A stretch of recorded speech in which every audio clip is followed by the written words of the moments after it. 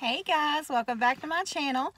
I was just wanting to check in with you and let you know that today I'm at my primary care physician's office. I have to go in in about 10 or 15 minutes and um, get ready for surgery clearance.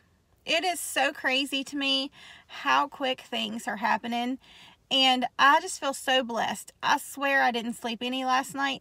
I was up thinking about everything that's going on and just how blessed I am and how thankful I am that I have this opportunity to have surgery and um, get better.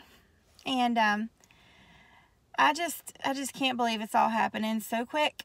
Um, this morning I did make me a protein shake in the blender with some ice, trying to mix it up a little bit so I don't get bored with protein shakes during my two weeks. Um, but yeah, I just wanted to come on and let you all know that um, I just feel so blessed and overwhelmed with just all kinds of thoughts and feelings and I just cannot wait to get my journey started.